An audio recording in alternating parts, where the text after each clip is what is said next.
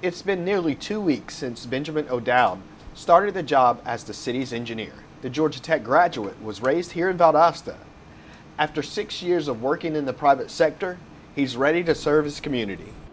And then from there, I transferred up to Georgia Tech and finished my education um, in their civil engineering program, got my bachelor's, moved back down here and started working uh, in the private sector here in town um, as an engineer. And then I got my license, and this job came up, and uh, it seemed like a really good opportunity to grow and an opportunity to lead and serve. Ben understands that he has a lot to learn, but he has the benefit of an experienced staff to lean on until he fully knows the engineering department. This is a learning curve for me, uh, stepping into this role, stepping into this leadership position, and I'm excited to do it, but having people here that are a part of my team that are very, very good at what they do, they've been doing it for a while, and they know exactly what they're doing it's a huge reassurance to me um, because I can lean on their expertise and they know and understand processes that I'm just now getting acquainted with.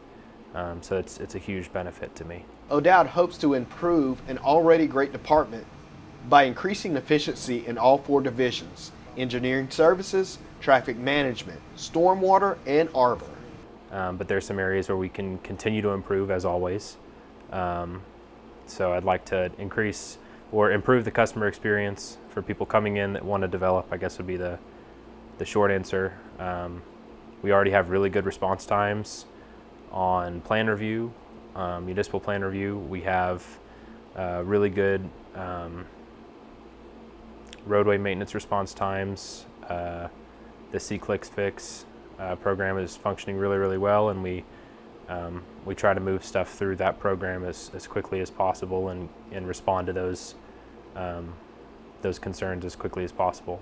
There is so much that we do in the engineering department um, to preserve the quality of the everyday life of Valdosta citizens um, and to ensure the quality of any new infrastructure or development that comes into the city.